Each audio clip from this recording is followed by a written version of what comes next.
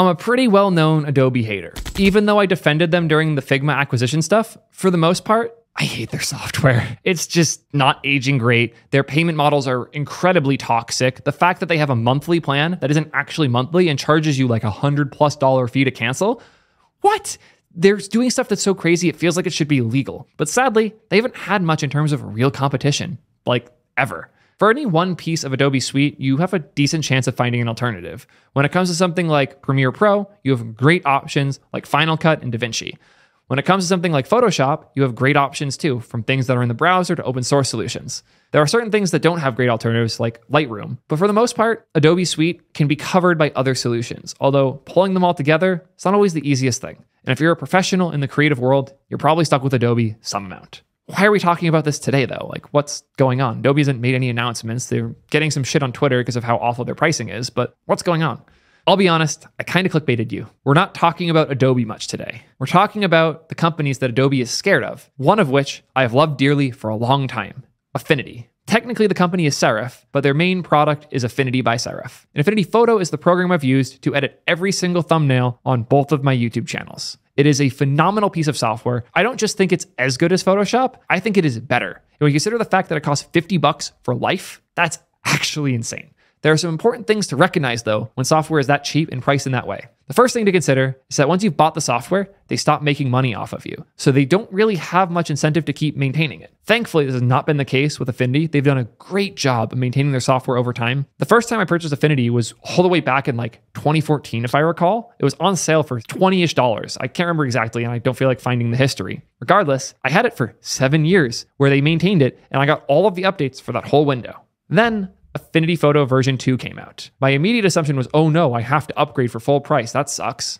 Nope, they gave me half off. And I didn't even have to upgrade because they kept maintaining V1. When Apple Silicon happened, they actually shipped an update for Apple Silicon, even though they had a new major version. There was no reason they had to do that, but they wanted to maintain the relationship they had built with their community and the trust that was core to Affinity's brand. I have had such a great time working with Affinity and using their software. I'm currently in the process of trying to figure out some type of sponsorship or collaboration with them because I love them so much that I want to share the greatness of the software that they make. When we started chatting a week or so ago, I was told that they're very, very interested and excited in working with me, but they'd have to wait a little bit to figure details out and I'd hear back soon.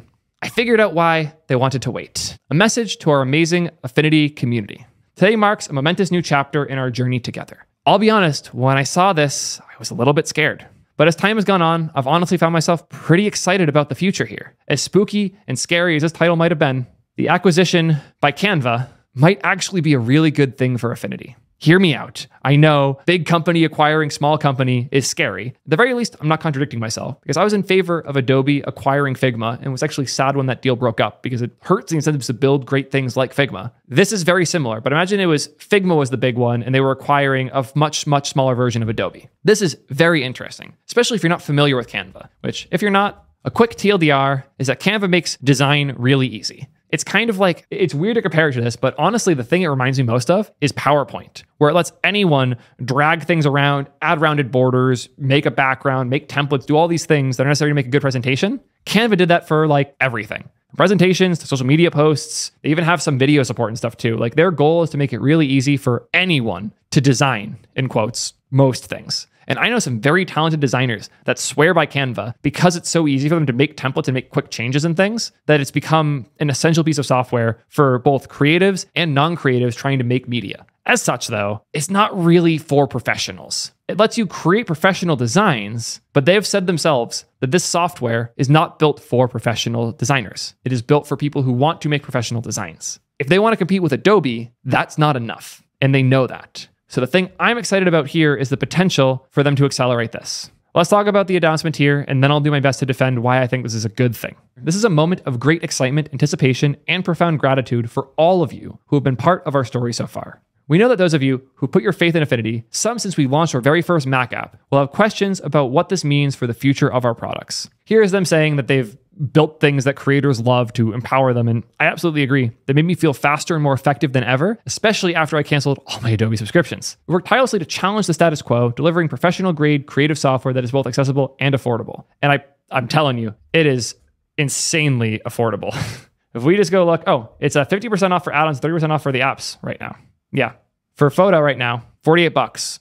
for everything on all platforms, $115 for life for designer, photo, and publisher for all platforms, including iPad, by the way. And it's not like a gimped down iPad app that doesn't have all the features. It's the full functioning app. So you can open an Affinity project from your computer on your iPad and it works totally fine. It is phenomenal. And I don't want to stop emphasizing this. It is really fast. I found Photoshop even on my maxed out M2 Pro or whatever you want to call the spec of this, this four plus thousand dollar laptop, still choked up a bit with Photoshop, and Photo chugs. Affinity Photo just flies. Designers, they're equivalent of something like Illustrator. So if you're used to Illustrator and like the more vector based designs, logo, stuff like that, designers your go to. And then Publisher is more like Adobe InDesign, which is their program for making like PDFs and like news type stuff that you'd throw in a document and ship off. So uh, definitely the most niche, but also really good that they have all three. Photo is where I spend my time, but I can tell you with confidence, all three of these pieces of software are phenomenal for what they do.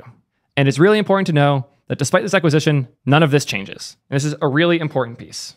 In Canva, we found a kindred spirit who can help us take Affinity to new levels. Their extra resources mean that we can deliver much more and much faster. Beyond that, we could forge new horizons for Affinity products, opening up a world of possibility which previously would never have been achievable. This sounds like your usual marketing bullshit. From watching the video from the founder and hearing everything I've heard since, I think this is real. I actually believe that they believe this, and I'm really excited to see what they do. This is saying that Canva has tried to make it so everyone can create, and that vision aligns perfectly with their core values and vision. The union is a testament to what can be achieved when two companies that share a common goal of making design accessible and enjoyable for everyone come together. There's a really kind thanks to the Affinity team for getting them there, a note to the users saying that we've helped them push, of the usual stuff. Nothing here seems to be particularly exciting. Thankfully, there's a nice FAQ that has good details and also a photo of the team, which might look big, but if you know anything about design software, that's a small team. Affinity's not a big crew. So this is a big change. I want to show what Canva had to say though, because this is very important. And then we'll go to the promise Affinity made to protect us, because I, I have high faith here. Since launching Canva in 2013, we've been on a mission to empower the world to design. As visual communication becomes table stakes in workplaces across the globe, we're proud to now be empowering more than 175 million people to achieve their goals. But as we often say, with a mission this big, we're still just 1% of the way there. Today, we're incredibly excited to welcome Affinity to the Canva team. Yep, yep, yep. All good stuff. There's a line in here I'm looking for, though. This is the important piece, and this is why I think this is a really, really good fit. As I mentioned before, Canva's goal is to make design software anyone can use. And if you're a developer and you've used a no code tool before, you know that's kind of bullshit. Can you make something that looks just like what everyone else makes? Probably. But if you look more in the details, it's not quite there. And once you expand things, they tend to fall apart. So Canva, as great as it is for most people to make like a quick social media post, if you're trying to do like big professional stuff or even stuff like my YouTube thumbnails, might not be the best solution. They want to bridge that gap. And I think that's what makes so much sense here. And this is why I'm so excited. They straight up call out here that they are not good for professionals. While our last decade at Canva has focused heavily on the 99% of knowledge workers without design training, that's the key. They focused on the people who don't have design training. Truly empowering the world to design includes empowering professional designers too. That's the key. They're not going to sit here and pretend they can just magically make a tool that professionals will love and use. Pretending that they can would just kill them. Adobe won that space. They could try, but they're not going to. Instead of just trying to make something that people will hopefully someday decide to use, which they won't, by the way, because they already associate Canva with something they don't want. If they're associating Canva with design for noobs, and they say, no, no, no, we're for professionals now, no one's going to listen.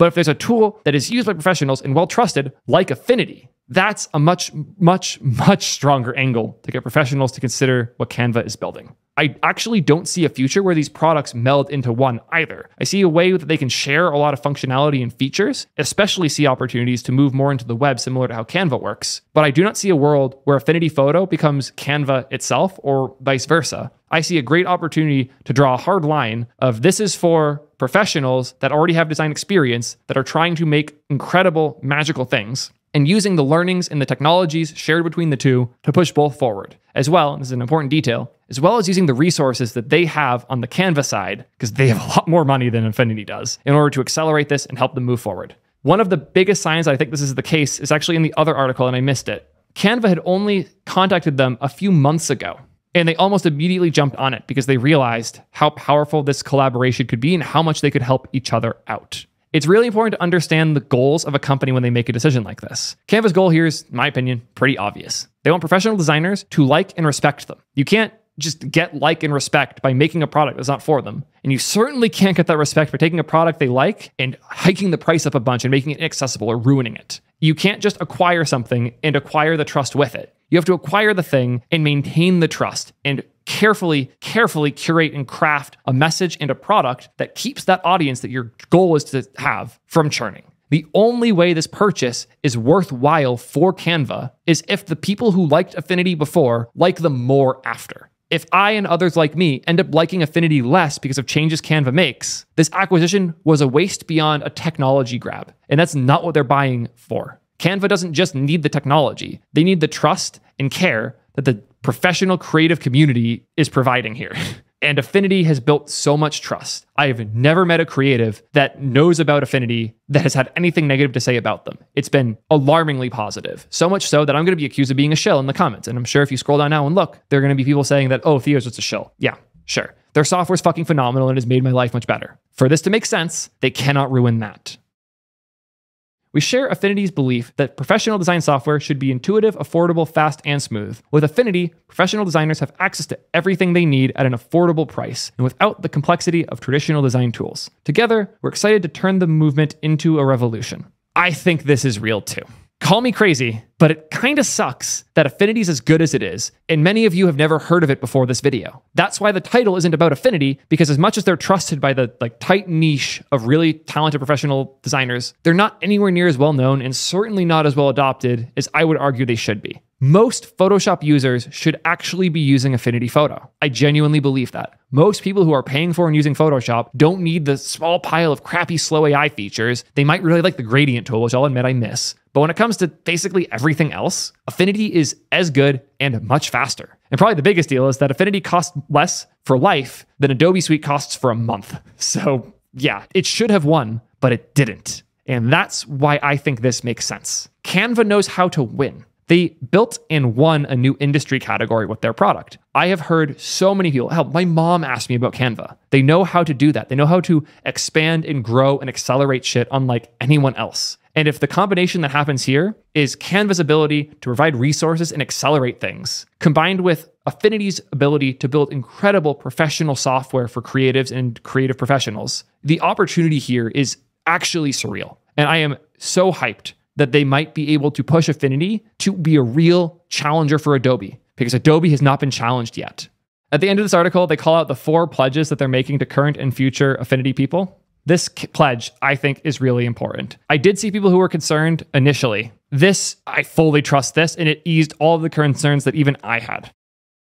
Step into our shared future, we're committing to four pledges that we're excited to share with the current and future Affinity community. And as we read these, I need you guys to remember the point of his acquisition was to get Canva respect from professionals. So if they ever walk any of these things back, they're fucked. We will destroy them publicly. I personally will I'll make this promise. I'll make a lot of content if Affinity ever walks these things back because I don't think they will. In fact, I don't think they can. I think Affinity dies, and I think Canva's chance to impress professionals dies if they don't honor these promises. The first one is fair pricing. Perpetual licenses will always be offered, and we will always price Affinity fairly and affordably. To remind you of the pricing here, the Adobe Creative Suite pricing right now takes a while to load. And when it does, 60 bucks a month. A month. If you just want Photoshop, 23 bucks a month. And if you use that price and then you cancel, you have to pay a massive cancellation fee too. If you want that price. If you want to be able to cancel, you either have to go to the traditional monthly, which is $90 a month with no cancellation fees. Yeah, are you kidding? That should be illegal. The price they're listing there is an annual price that you pay monthly, and you get a fee if you cancel throughout. It's this should be illegal. So the actual monthly cost is 90 bucks for one month of the Adobe Creative Suite. So hopefully that emphasizes why this pricing is insane. 115 bucks, which is the cost of one and a half months of Adobe for life. For life. You'll get updates forever. It's nuts. Like eventually, if you want to get the new version, if they do a V3, they always provide really generous upgrade pricing. It was literally 50% off at the time. It's not only 25% off, but like that's a really good deal still, especially when you consider how cheap it is. Like, whew, holy shit, it's insane. Sure, this doesn't include the video editing software that's included with something like Adobe, but even if you remove that from the Adobe suite, you're still paying 50 to 60 bucks a month at least. So this price for life is insane. So again, they have a good track record with fair pricing. They're at massive risk of losing a ton of loyalty if they fuck that up. And I don't think they will. Point two is accelerating Affinity. This is where I start getting real excited. Affinity's here to stay. It will remain the highest quality pro design suite, and we will now accelerate the rollout of new features. I believe this. They've been a bit slow for things like a, good example that I run into a lot is generative fill. When I want to delete part of an image and have it fill properly, they just don't have the money to do all the crazy AI shit that Adobe's doing. And yes, Adobe's is slow, but Affinity's slow to get theirs out in the first place. Having Canva's resources and having all the crazy shit they've built to do this already that they can integrate as features into Affinity, that's a huge win. And I'm genuinely excited for it. Point three is that it's accessible for all. The Affinity Suite will soon be made available without charge to schools and registered nonprofits. Whew! That is a ballsy move. But since Affinity no longer has to worry about going out of business because they now have a much bigger parent company that can fund resources for things like that, that went from being a huge risk to a huge win. And I love that Canva is using their resources to justify doing stuff like that. It's also important to know that once you win schools and nonprofits and things like that, your ability to ramp people into something like Affinity goes up a ton. I know I was an Adobe person because I used the Adobe student discount to go to like, I think it was like 30 bucks a month instead of the 80, which was really cool because I got to, in college, use the whole Adobe suite. And I never got to unsubscribe when I graduated, and I ended up accidentally paying over $1,000 to Adobe.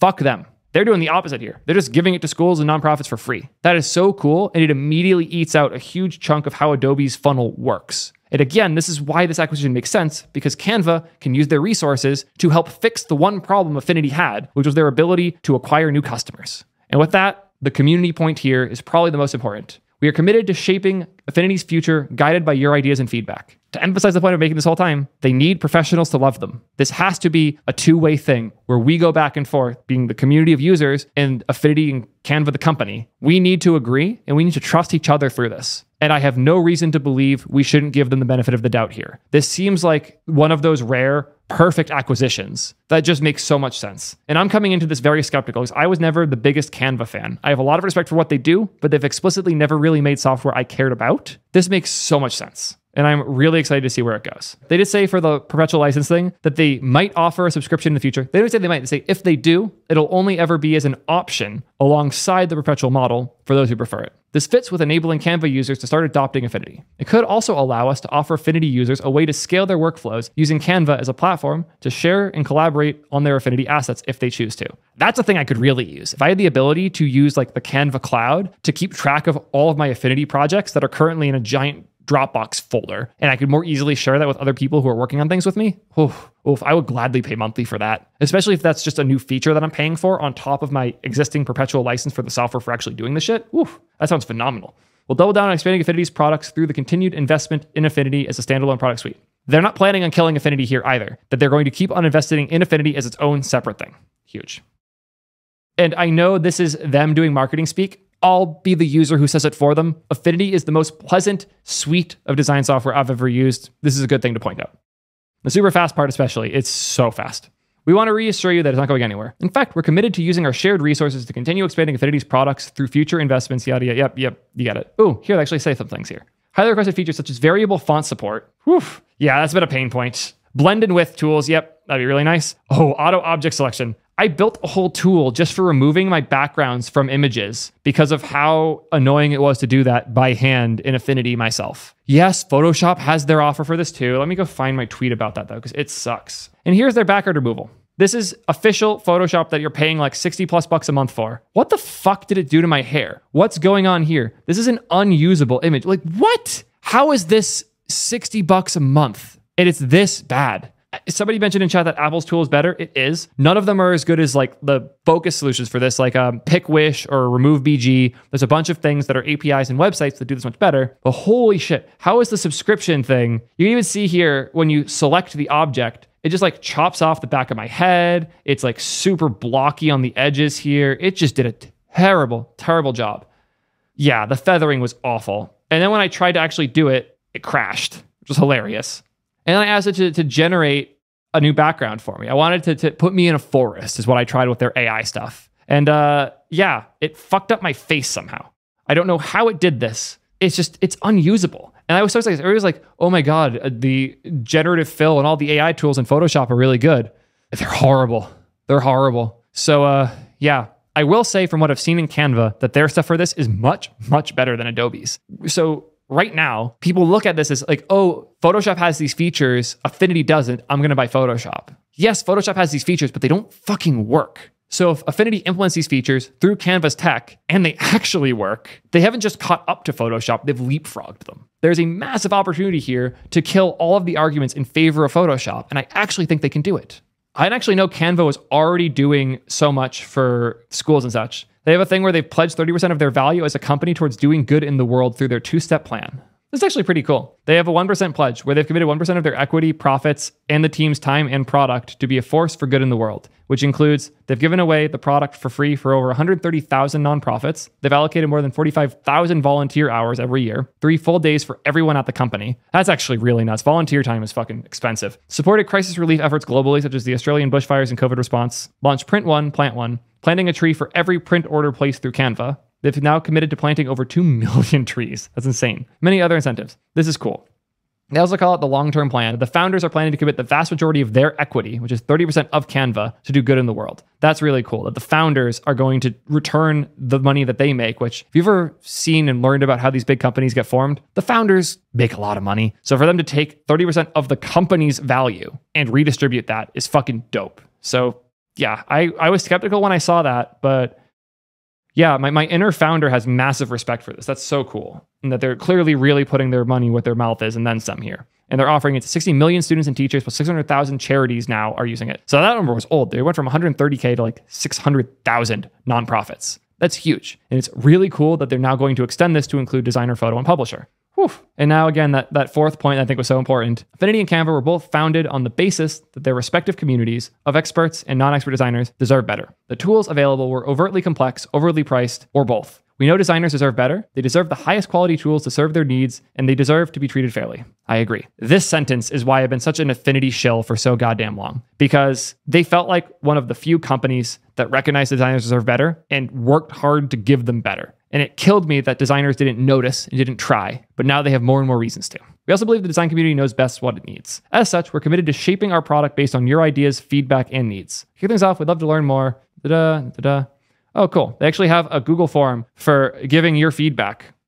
I actually really like that they did this. They put out a form that anyone can fill out to give their feedback on this. And the second question here is Do you have any concerns with Canva's acquisition of Affinity that you'd like to share? I'm actually going to take the time after this recording to go fill this out because I think this is important. And I want them to know that they're loyal Affinity users like myself that see a ton of potential here and are actually really excited. I know it's going to be controversial and people are going to be mad that a CEO is supporting a big company and doing an acquisition. But I think this is a textbook example of a good acquisition that benefits the users and the companies involved. I think this has a great chance of going well. And at the very least, it should scare Adobe shitless. And Adobe deserves to be a lot more than scared, in my opinion. So, uh, that's all I have to say about this one. Go give the Affinity Suite a shot. If you've learned anything from me, you'll know it's really good software. And let me know in the comments what you think about this, both the acquisition and the Affinity Suite, because I love this software. I love this team, and I hope I can continue loving it going forward. Until next time, peace, nerds.